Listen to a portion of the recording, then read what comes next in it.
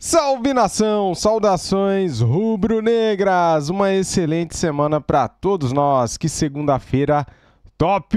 Vamos ver aqui, galera, a repercussão da vitória do Mengão. Flamengo 3, Atlético Mineiro 1. Fora o baile, né, cara? Poderia ter sido até mais, né? Temos aqui um corte do programa F360 da ESPN Brasil. Vamos ver aí o que os comentaristas do programa irão falar agora da vitória do nosso Mengão. Deixa o like para ajudar, se inscreva aqui no canal, seja bem-vindo e ative o sininho, tá bom? Conto com a sua ajuda aí. Quero dar os créditos para a ESPN Brasil, link na descrição como créditos. Vamos começar o vídeo aqui com alto astral, galera. Tô feliz demais. Simbora. O Flamengo aterrorizou o Galo ontem? Sim. Principalmente no primeiro tempo. Então vamos ouvir os professores Milito e Felipe Luiz, Ó. depois da vitória rubro-negra por 3 a 1 Bora. Um grande jogo do, do Flamengo, um grande jogo do Atlético Mineiro, são duas grandes equipes, mas foi muito difícil, um jogo muito difícil. Sabíamos que ia ser um jogo muito difícil, muito complicado, não é à toa que estamos, estamos enfrentando um finalista da Libertadores e hum, que ia ser assim, mas é, fiquei feliz com o que eu vi hoje no campo e obviamente que para o jogo de volta, para mim, é como se fosse 0 a 0 É a mesma coisa, mas eu tô, tô muito feliz pelo que eu vi hoje dos meus jogadores e principalmente, como você falou, da nação que é, já é chover no molha- no molhado, né? Sempre é, eles são um a mais. Calma, ainda faltam 90 minutos. É, estamos muito longe do título ainda.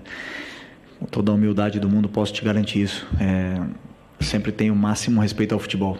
Futebol, é, temos que entender o momento e, e respeitá-lo, né? Então, é, eu, vo- vocês podem até falar que está perto, para mim está muito longe. Ah, no pudimos conseguir un resultado me- menor porque es una final, porque jugamos con un equipo que tiene grandes jugadores, porque jugamos en su casa.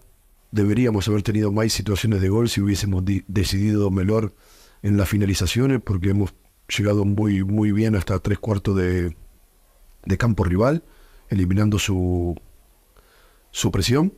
Eh, el resultado no lo esperábamos, imaginábamos otro resultado, pero el fútbol puede acontecer. El, el team no se entregó nunca. Pudimos hacer 3-1 y los últimos 15 minutos, eh, pero el equipo fue en todo momento valiente, aún con errores, pero valiente. Y su, es algo para, por lo menos para mí, para reconocer y para darle un mucho valor. Y bueno, eh, fueron los primeros 90 minutos. Ainda queda un juego más en casa, con, nuestra gente. Todos que tengan la certeza de que vamos a dar lo menor que tenemos. Aí os professores Felipe Luiz e Milito. E o torcedor do Galo presente no Maracanã gritava no final: Eu acredito, professor Celso. É, Você vai ouviu? Ter, vai ter que acreditar muito, porque além do Galo fazer, ter que fazer com o Flamengo, o que o Flamengo fez com o Galo ontem, precisa ver se o Flamengo cede essa, essa, essa vantagem, né? Que é muito boa. O jogo começou, a gente viu com o- aquele chute do Scarpa, mas no primeiro tempo o Galo fica naquilo. O Flamengo muito bem no primeiro tempo, envolvente, o Gabigol, antes mesmo de aparecer com o doblete dele, já deu mostras que queria jogo no lance do primeiro gol.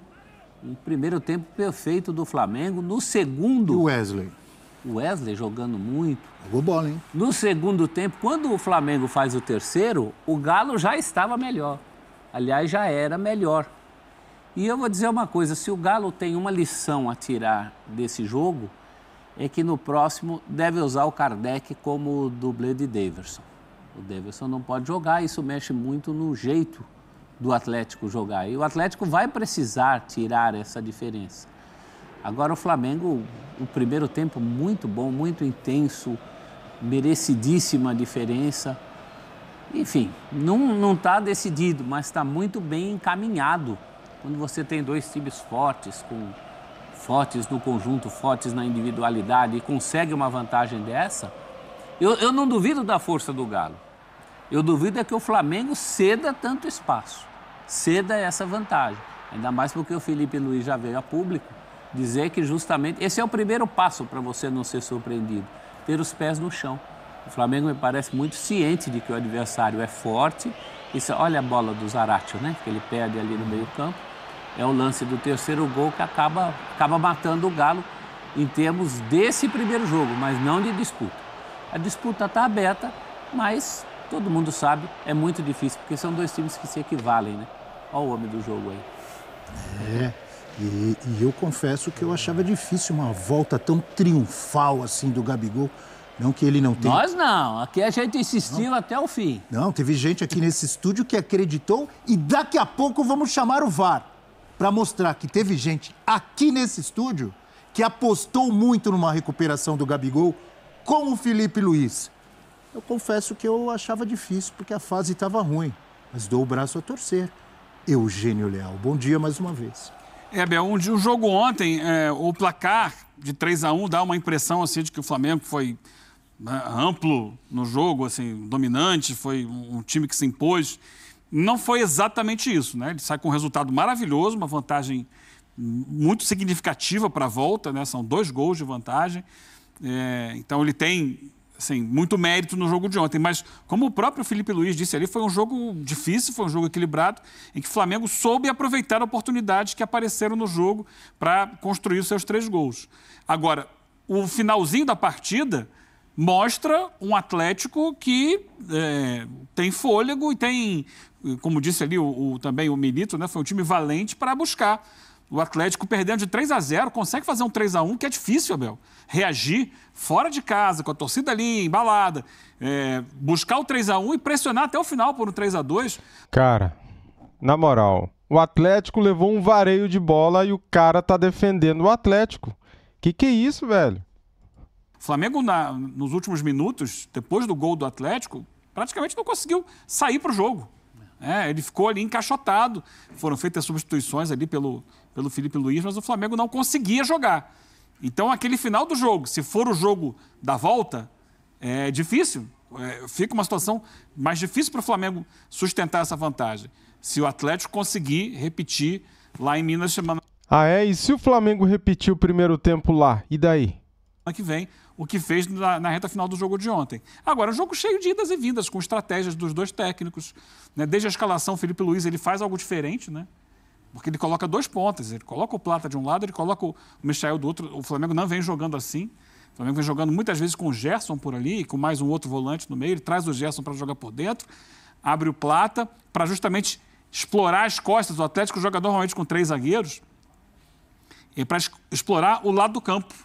É, os jogadores que sobem muito pelo lado do campo. O Scarpa, que é o ala pela direita, é, o, do, do, outro lado ali, quem jogou como ala foi o Rubens ontem, porque o Arana jogou como meia pela esquerda.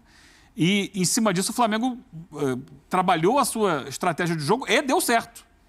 Agora, depois, mais para o final do jogo, é, quando perdeu esse fôlego para chegar pelo, pelo lado do campo, perdeu a saída de jogo e aí não tinha meio campo. Foi obrigado ele, Felipe Luiz, a colocar alguns jogadores ali que deram mais sustentação física ao time, como o Everton Araújo, que fez boa partida. Nossa, muito bem na proteção é, da defesa. De novo. Depois, né? com a saída do Arrascaeta, outro que também ajudou muito fisicamente foi o Alcaraz.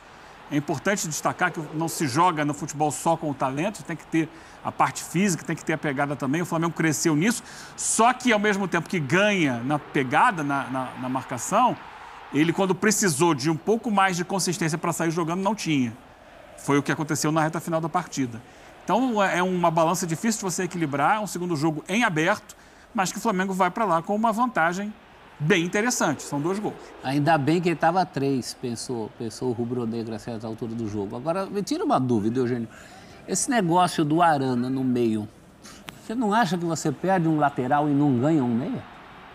É, mas é, é uma maneira de entender, né? Ele, ele é, de fato não é um grande meia.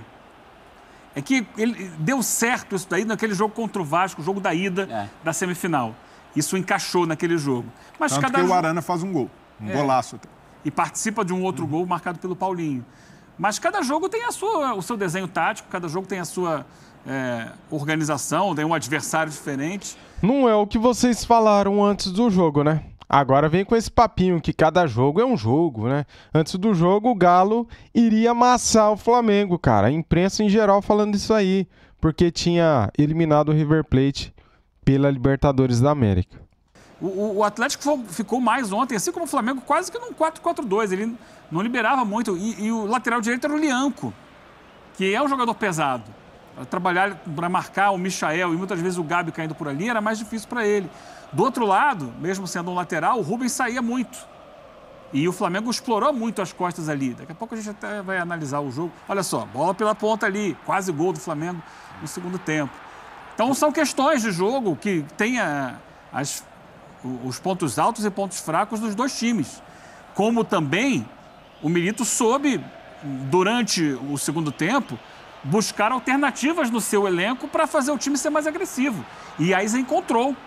Ele mudou, eu acho que a entrada, é, não tem dúvida, né? A entrada do, do Allan Kardec deu ao, ao, Atlético um jogador de área ali que é, gerou muito problema para o Flamengo. O Alisson participou muito bem pelo lado direito. Sim, dentro da característica também, acho que o Saravia é um jogador que deve ser pensado para o segundo jogo, que marca bem, mas é um lateral, não é só um zagueiro. Quando precisar chegar na frente também, pode chegar na frente. Então ele redesenhou com o Hulk e o, o, o Kardec por dentro, trazendo o Paulinho um pouco mais para fora. E aí você pode ver uma outra situação para usar o, o próprio Scarpa, que ontem teve um pouco apagado, não sei o chute que ele deu no início do jogo, não fez muita coisa. Então, Muito apagado. Situações. Antes de, de ouvirmos também a análise do Breler Pires sobre a vitória do Flamengo, sobre virtudes e problemas coletivos e individuais das duas equipes, vamos ouvir Felipe Luiz falando sobre Gabigol, grande personagem de ontem, nesse primeiro duelo do confronto entre Flamengo e Galo. Não só Felipe Luiz, Marcos Braz, porque o contrato termina no final do ano. Vamos acompanhar. Você não consegue ensinar um jogador a ser decisivo. Ou você tem ou você não tem. Existe um ditado, né, que o gol se compra. E eu concordo muito com isso e o Gabriel tem gol. Não é à toa que é um dos maiores artilheiros desse clube um dos maiores artilheiros em, em finais. E hoje nós vimos a, uma das melhores versões é, do Gabriel no campo. Mérito dele. Trabalhou, acreditou, é, obedeceu e escutou em tudo, todos os treinamentos. Foi isso com o Gabi agora. É uma, uma correção tática no campo, os nervos à flor da pele, eu e ele querendo ganhar, querendo o máximo, e aí não tem conversinha, aí é grito. Então, esse, essa conversa que eu tive com o Gabi, essa discussão que eu tive com o Gabi no campo, era o que acontecia toda semana enquanto a gente era jogador. E quando, quando eu era jogador, desculpa, e ele era meu companheiro, e agora não vai ser diferente, né? Não porque ele foi meu companheiro, eu vou tratar ele diferente. Não, não muda muita coisa. A gente vai deixar passar a Copa do Brasil para ver o que, que a gente vai fazer. É, eu, já, eu, pessoalmente, já externei várias vezes que eu gostaria de renovar com ele. Não sei se será possível, mas o Gabigol fazer gol nas finais, o Flamengo renovar com ele por causa disso, eu acho que não é, não é de bom tom. Eu acho que o, a história do Gabigol e o profissionalismo do Gabigol é maior do que isso aí, é maior do que dois gols. É, e os números mostram. Dá uma olhadinha nos números espetaculares como diz o nosso título da tela, o predestinado voltou. Números de Gabigol em finais? 25 jogos. Jogos em que marcou? 12, 48%. 16 gols e a média de 0,6. Em finais, hein? Marcou gol até em final que o Flamengo perdeu. Contra o, contra o, o Palmeiras. Palmeiras. É. Ele fez gol contra o Atlético Paranaense, fez os dois antológicos contra o River Plate contra o Palmeiras, quando perdeu o jogo ali no gol do Deivinho, ele também deixou a marca dele. Duas assistências, nove finais vencidas, oito finais perdidas e dois gols ontem nesse primeiro jogo, que também foi uma final. Conversa... Eu relembro e confesso, professor Breler e Eugênio, desculpe, professor, que eu, eu estava cético, e deixei claro isso aqui, em relação a uma recuperação do Gabigol no Flamengo. Eu acreditava numa recuperação do Gabigol, talvez em outro clube, porque para mim ele mostrava desinteresse em todas as ações, aparecendo com a camisa do Corinthians, é, o, o, negócio do doping, lá do protocolo, enfim. E aí não tinha oportunidades com o Tite, como também não teve com o Sampaoli, com o Vitor Pereira. Mas ele ressurgiu e ressurgiu em grande estilo. Vou perguntar primeiro para o Breler, professor, se você me permite. Não, Pode passar. Então, vai eu só ia comentar que eu lembrei Bete Carvalho. Assim, se o Braz é tesoureiro, a gente acerta no final. Ele quer acertar no final. Tá certo. E acertar assim tá ótimo, né? Pagar com gols. Então, o, o- o Gabigol, ele é um cara que tem uma, uma estrela fora do comum. Isso daí pode se questionar o momento, o comportamento dele. Foi um cara que realmente é, cometeu falhas no Flamengo, inclusive falhas disciplinares, teve a história da punição por doping. Mas essa aura de ídolo, ele nunca perdeu. Tanto é que nos piores momentos do Gabigol, nos momentos de baixa, boa parte da torcida do Flamengo sempre o apoiou, sempre o bancou. E que legal que o Felipe Luiz sai- sabe reconhecer essa esse lado da personalidade do Gabigol. Porque muita gente vai dizer, o Gabigol é um cara difícil. Realmente, tem, é, te- é temperamental, é um cara que às vezes precisa ali ser é, mimado no bom sentido da palavra. Mas como o Felipe Luiz falou, ele entrega, ele se paga com gols. E ao longo dessa trajetória de baixa dele no Flamengo, eu vejo que faltou esse tato também da diretoria. Quando o Gabigol vai comemorar na câmera o segundo gol, fazendo assim com os braços, para mim é muito menos um recado à torcida, que o cobrou em alguns momentos. É isso aí, ó, que a gente vai ver agora. É, é isso aí, essa, essa comemoração provocativa Ah, é dele. pra diretoria. Não, exato. É, é zero pro torcedor. Porque o torcedor, ele sabe que ele tem essa relação. Mas esse recado do Gabigol é pra diretoria, é pro Landim, é pro Marcos Braz, porque tentaram fazer com que forçar uma saída do Gabigol pela porta dos fundos. E embora ele tenha cometido erros, Abel, e cometeu, esses erros não apagam idolatria, não apagam história e não, não apagam a possibilidade de recuperação de um grande jogador como ele é. E a diretoria do Flamengo, por muito tempo, tratou o Gabigol como descartável. E ele deu a resposta. É uma resposta da diretoria e o Gabigol, mais uma vez, se prova maior do que qualquer dirigente Demorou para dar a resposta. Vamos, vamos falar a verdade Mas- também. Mas porque Mas deu. Mas nunca a situação foi tão favorável a ele como agora. Chega um técnico que acredita no futebol dele, o Pedro não está mais disponível, ele volta a ser titular, ele volta a se sentir importante. E por mais que ele tenha tido aquele entreveiro com o Felipe Luiz, aquilo ali é algo até que o motiva. O Jorge Jesus vivia dando bronca nele, o Gabigol queria dar essa resposta. Então, a diretoria do Flamengo recebeu uma resposta. E essa resposta foi contundente de que foi um, o, o Gabigol dizendo: vocês vão ter que me engolir. Ah, estilo Zagallo? Para- Exato, mas não é. O cara volta, marca dois gols em finais e já vinha se recuperando até em confiança, batendo pênalti, sendo mais importante para o time. Então é um recado muito claro para Marcos Braz, para Landim, que por mais que o Braz diga que a vontade sempre foi renovar com, com o Gabigol, a diretoria nunca demonstrou isso publicamente. Pelo contrário, as demonstrações eram de forçar a barra para que ele saísse em baixa, para que ele saísse com a imagem arranhada. E dessa maneira, mesmo que ele saia, sendo protagonista num eventual título da Copa do Brasil, caso o Flamengo confirme na semana que vem, uma saída do Gabigol vai pesar na conta dessa diretoria, até mesmo para uma eventual sucessão na eleição que acontece em dezembro. O professor Celso apostava nele. Eu apostava. Eu, eu... E o Eugênio também. Por isso eu vou chamar o VAR. Pode chamar. VAR? Chama, chama aí, Breleiro. É você Vamos que ver, chama. chama o VAR É você que chama lá. Vai, Breleiro. Vai Chama de novo agora. Chama o VAR. Você chega aqui, ó, você tem minha confiança. Você é o cara em quem eu acredito. Eu vou botar você pra jogar. Olha. Vou, vou criar uma situação boa pra você, aproveitar suas qualidades. Ou então você fala assim: ah, peraí, fica aqui, reserva do, do Arrascaeta. É diferente. Vou, aí o cara chega, vou contratar o Carlinhos pra jogar quando não tiver o Pedro. Como é que você fica numa situação como essa? Você sendo ídolo da, da equipe, do clube, você tendo feito gols decisivos em Libertadores. ídolo não tem lugar cativo. Ó, você aqui é centroavante, mas pra Não, mim não. um Pra mim pouquinho. você vai jogar ali Não. e vou, vou botar aqui como na sua frente na fila o Carlinhos. É muito pra desmotivar. Pra não falar outra palavra. Eu Concordo. o Ah, Rafael tava Prats. desmotivado. Aparece tudo isso? Eu estou olhando para o semblante desmotivado, de tá Rafael bom. Prats, o tático. Ele discorda totalmente de você. Não, pode uma discordar, visão, ué. Essa é uma visão. democracia. Mas eu quero ouvir o Eu Prats. só Democracia acho que, eu acho que a chance do, do, do Gabi dar a volta por cima é agora, com o parceiro dele que vai entender ele Vai e vai criar uma situação pra ele voltar a ser o jogador decisivo que Mas ele já também. Mandou bem, mandou bem. A festa é sua. foi. Não tem festa nenhuma, não. É simplesmente ali o VAR, o Breider chamou o VAR aí, como ele sempre faz, né? Que é assim, bota a mãozinha no ouvido, né? É, tem que escutar ali o que O estão áudio, falando da cabine. áudio É depois. importante. Ah, eu, não, eu, não, eu tinha isso muito claro na minha mente, que havia ali uma insatisfação enorme do Gabi. Existe essa insatisfação que continua existindo com a diretoria, mas na época do Tite havia também na questão técnica dentro de campo.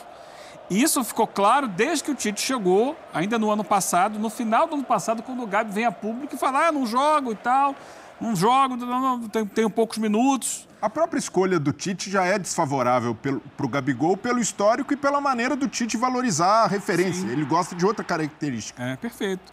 E eu sabia que eu trouxe nesse dia, que foi o dia que o Flamengo anunciou o Felipe Luiz, ou no dia seguinte, né? A gente estava debatendo justamente a chegada do Felipe Luiz. Que o Felipe, pelo relacionamento que ele tinha com o Gabi, que ele tinha falado, que era um cara com quem ele melhor se relacionava no dia a dia enquanto jogador, que ele entenderia a- a- as necessidades do Gabi e o valorizaria para resgatar um jogador, que é um jogador importantíssimo e provou ontem mais uma vez a, a sua importância. né? O Flamengo estava desprezando a importância de um jogador como o Gabi. Total. É, ele estava sendo escanteado dentro do clube em que é ídolo. E o Felipe muda esse O quadro. Pedro não estava jogando muito mais e fazendo Não, gols? O Pedro, brilhante. Só que o Pedro tinha saído já e ele não jogava com o Tite. Ele chegou a ser terceira opção, né? Toca Ele aqui. ficou atrás do Carlinhos, né? Parabéns, Isso professor. não se faz, né? Eu não acreditava E nessa. sabe, e sabe qual era o Eu, primeiro eu, passo? eu realmente estava cético em relação a. Eu achava que a história do Gabigol no Flamengo tinha acabado. Não, e podia, eu ser, achava. e podia ser que ele não enxergasse isso, mas o primeiro passo não era dele. O primeiro passo era de alguém que desse para ele condição. Você mesmo citou, ah, ele parecia desmotivado depois Uhum. de estar fora dos planos. De quantos técnicos? Você citou uns dois aí. São Paulo e Vitor Pereira, se eu não estou enganado. Três, E né? Tite. Que também, se, se não foi tão, tão pesado quanto o Tite, também não deram para ele a mão que o Felipe Luiz deu. E não é moleza, não. Antes do gol, tem a discussão entre os dois. Felipe fala, eu quero você jogando aqui. E ele fala, ah, você só fala comigo, moleque, não sei o quê. E aí ele vai para lá e faz o gol justamente pelo lado que o Felipe Luiz é. queria e, e pela mão forte que o Felipe Luiz deu para ele. O primeiro passo era esse, dar sequência para o cara. Se ele não embalasse, aí tudo bem. A gente fala, não tem jeito mesmo. Mas se não desse sequência, como é que ia saber? O problema, prof, é que usam a imagem do Gabigol, a pessoa pública dele, muita coisa do que ele faz fora de campo, para desqualificar o jogador. E uma coisa é dizer que ele baixou de rendimento. Isso é inegável. O Gabigol passou mais de uma Ele temporada. vinha jogando mal, vinha mal Sim, fisicamente. Vinha mal fisicamente, não vinha é, caprichando nas finalizações, não tinha a mesma efetividade das grandes temporadas que fez. Mas Aliás, Só vem semana né? passada ou retrasada, muitos rubro-negros reclamando e dizendo ele só fica impedido. Foi ou não foi? Não, e- Porque é, é- é- isso é um processo, né? É um processo de você reconquistar ritmo de jogo, parte física, é, o, o apuro técnico. O apuro técnico passa não só pela finalização ser mais bem feita, mas também pelo tempo que você vai sair para não ficar impedido. Ontem o, o gol, muita gente não comemorou o gol ontem. Parecia que ele estava É, a- impedido. Aquele primeiro gol dele, muita gente ficou assim, ih, tá impedido, peraí. E a ele próprio, É. ele sai, ele comemora meio assim, na dúvida. Depois é que o, o- o- o telão mostra lá que não havia Ainda bem que não impedimento, apareceram aquelas é que ele linhas explode. mágicas horrorosas que ficam anulando o gol. Apareceram as linhas, Milímetros. apareceram as linhas e mostraram que ele não estava impedido, ponto. E assim, uma coisa é o Gabigol ser reserva do Pedro. Ok, pelo momento que o Pedro vive, até o técnico anterior valorizava mais a característica de homem de área do Pedro. Outra coisa, ao meu ver, inadmissível, é o Gabigol ser a última opção no Flamengo. Isso aí não dá para aceitar. O, o- o Gabigol, por mais que tenha seus problemas, por mais que tenha errado, a partir do momento em que está à disposição, ele precisa participar. Até porque um cara com a personalidade dele, escanteado no banco, tratado como descartável, vai murchar, não, não vai conseguir tirar motivação. E por mais que muita gente diga, a grande motivação é jogar no Flamengo, é conquistar títulos pelo clube, a gente sabe, existe, existem diferenças de personalidade e o ambiente precisa confluir para uma recuperação. E nunca, antes da chegada do Felipe Luiz, se tentou de fato, com boa vontade, uma recuperação do Gabigol. O que se tentou foi atirar o Gabigol aos leões. Olha, vai lá, não está em boa forma física, vai jogar de qualquer forma. Mas não se pensou um esquema para ele jogar. Ele também colaborou Não, também. Total, total. Eu não, não nego isso. E o Gabigol sabe que teve, tem a parte dele nesse processo. Mas, por outra, tem a do clube que preferiu entrar em rota de colisão, que não observou essa capacidade do Gabigol de se reinventar. Eu vejo, por exemplo, que dificilmente o Gabigol vai ser, conseguir ser novamente aquele jogador de 2019, de 2020. Mas ele pode ser uma versão até mesmo melhorada em termos de construção de jogo, de participação como um meia Em criativo. 2022 já foi um Gabigol diferente, lembra? Sim, e ele, e ele pode, Servindo mais ao Pedro. e ele pode fazer muito bem essa função e, ao mesmo tempo, manter a estrela, o poder de fogo que ele tem. Tá aí, galera. A troca fez bem. Números de Gabriel Barbosa em 2024 com Tite e com Felipe Luiz. Com Tite foram 28 jogos, com Felipe Luiz 6 jogos como titular, com Tite 4 jogos, 6 com Felipe Luiz, gols, 4 gols com Tite, 3 com Felipe Luiz. Olha a diferença, 28 para 6 jogos, né? Cara, é muita diferença. 4 gols com Tite e 3 gols com Felipe Luiz. Assistência, uma com Tite e até agora nenhuma com Felipe Luiz. Temos aqui, galera, o ranking de atuação. Vamos ver aqui quem foi os melhores no jogo de ontem. Atuações do Flamengo. Gabigol mostra que final é com ele. Dê suas notas. É essa aqui é a matéria do GE, cara. Ranking de atuação. Vamos ler aqui as notas dos torcedores. Nota do público. Rossi teve uma nota de 7.4. Wesley 8.9. Tá jogando muita bola. Um dos principais jogadores atual do Flamengo, cara. Wesley tá jogando muito. Cara, ele apoia muito bem, ele tá defendendo bem. E ele é estudioso, ele já revelou, né, que ele fica estudando, vendo os vídeos dele, né, vendo onde que ele erra para corrigir esses erros, né? E está excelente mesmo. Léo Ortiz 7.2, Léo Ortiz falhou no gol né, do, do Atlético Mineiro. O Atlético Mineiro fez o gol em cima de um erro dele, porém, ele teve uma nota boa porque quem não erra, né, cara? Todo mundo erra, né? Não é passar pano, não. O Léo Ortiz ele não merece críticas por esse lance de ontem. Errar é humano. Ele é muito bom zagueiro e merece aí o nosso carinho. Léo Pereira, 8.2, quase fez um golaço do meio da rua, né? Alexandro, 7.3. Só, ó, o que atrapalha o Alexandro é a forma física. Ele é muito bom lateral. Só que ele ainda está fora de ritmo, né, cara? Não está é, tão bem quanto os outros jogadores, né? Ayrton Lucas, 5.7. Gerson, 8.8. Mais um belo jogo do Gerson. Everton Araújo, bem seguro, né? 7.3, fez um bom jogo também. Arrascaeta, 8.0, fez o primeiro gol. Jogou bem também. Alcaraz entrou bem, 7.5. Foi na arrancada dele que o Gabigol fez o terceiro gol. Plata, 6.2. Não gostei. Plata tá muito mal. Eu acho que o pior jogador do Flamengo ontem foi o Plata, cara, sinceramente. Fabrício Bruno, 6.3. Gabriel Barbosa, Gabigol, 9.1, a melhor nota do jogo. E é merecido, né, cara? Ele é predestinado, né? O cara gosta de decisão. O cara só faz gols. Não, não é que só faz gols, mas o cara gosta de fazer gols em finais, em decisões. Em 17 finais, ele fez 16 gols em finais. Isso pelo Flamengo, né? Varela 6.3, Michael 8.1, Felipe Luiz 8.8. Você concorda? Discordam das notas? Então comente aqui, quero saber a opinião de todos vocês. Valeu, galera. Tamo juntos. Antes de sair do nosso vídeo, deixa o seu like, se inscreva aqui no nosso canal e ative o sininho. Saudações rubro-negras. Daqui a pouquinho tem mais vídeo da imprensa, hein? Fui.